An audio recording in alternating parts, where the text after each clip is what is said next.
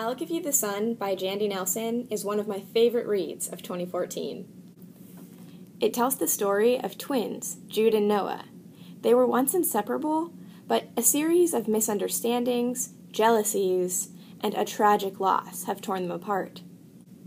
Both are aspiring artists, and the creation of art is a prevalent force throughout their story.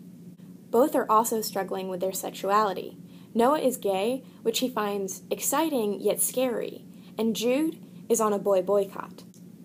The brilliance of this novel is the way that it sweeps back and forth through time to show us how their relationship deteriorated and how it eventually begins to mend. Noah's sections tell us the early years, when they were 13, often using dramatic, vivid imagery, while Jude tells the later years, when they're 16, sprinkled with quirky superstitions passed down by their grandmother. If you like character driven, realistic fiction, and especially art, you will love Jandy Nelson's I'll Give You the Sun. And remember, you can also check out her first novel, The Sky is Everywhere, by clicking the link below.